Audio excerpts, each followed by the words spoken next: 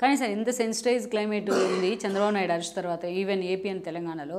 కానీ నిన్న కూడా ఆయన మేనిఫెస్టో ప్రకటించే సమయంలో జగన్మోహన్ రెడ్డిని ఆకాశానికి ఎత్తేలా కేసీఆర్ చేసిన పొగడ్తలు అది రెచ్చగొట్టే పొగడ్తలు అనుకోవాలా? నిజంగానే ఎలా చూడాలంటారు అది? అది ఖచ్చితంగా ఎవరైతే టీడీపీకి చంద్రబాబుకి వ్యతిరేకంగా ఉంటారో వాళ్ళు తన వైపు ఉంటారు కదా అని. ఇక్కడ విచిత్రం ఏంటంటే ఎవరైతే చంద్రబాబుకి వ్యతిరేకంగా ఉంటారో వాళ్ళందరూ కన్సాలిడేట్ కేసీఆర్ వెనకాల ఉండరు వాళ్ళు ఎందుకంటే ఆల్రెడీ కాజే తిని ఉన్నారు కదా వాళ్ళు. వాళ్ళకి ఇంకా బీజేపీ ఉంది కాంగ్రెస్ ఉంది ఆప్షన్ ఇక్కడ. అర్థమైందండి? టీడీపీ సానుభూతి పరులకి ఒక ఆప్షన్ లేదు. వీళ్ళని ఓడించాలనే ఆప్షన్ ఒకటే కనపడుతుంది. బీజేపీ బీఆర్ఎస్ ఇద్దరిని ఓడించాలంతే. వాళ్ళు ఎవరికైనా వేసుకుంటారా?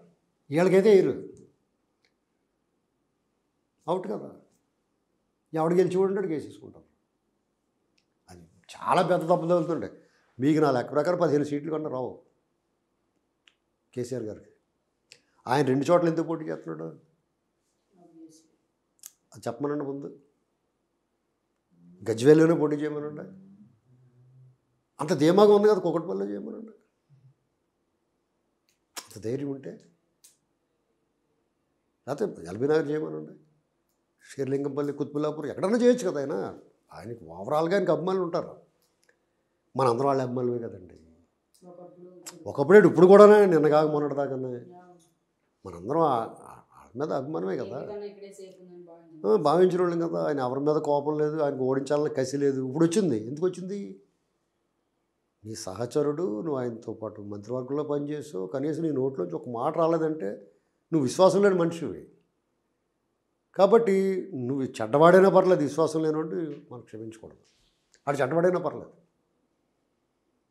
ఇది ప్రజలు ఆలోచిస్తున్నారు. ఆల్రెడీ రెండుసార్లు మిమ్మల్ని చూశారు కాబట్టి తెలంగాణ సమాజం మిమ్మల్ని వద్దనుకుంటుంది.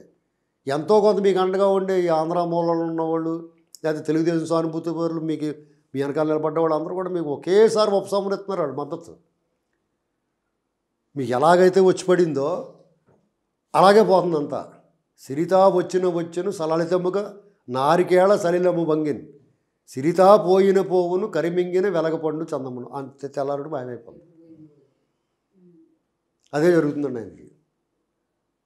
ధనం సంపద అధికారము మనకు తెలియకుండా వస్తాయి.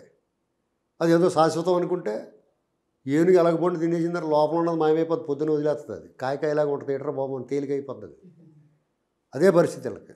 అంతే అండి సింపుల్. ఈ వీడియో మీకు నచ్చినట్లయితే please share like and subscribe R twenty four Telugu.